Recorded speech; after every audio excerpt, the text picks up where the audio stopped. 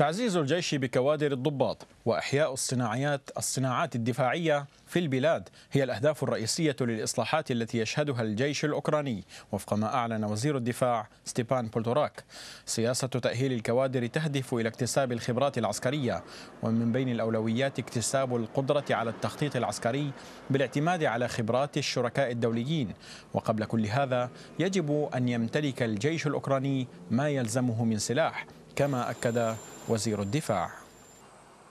Прийнято рішення щодо виділення фінансового ресурсу 4 мільярда гривень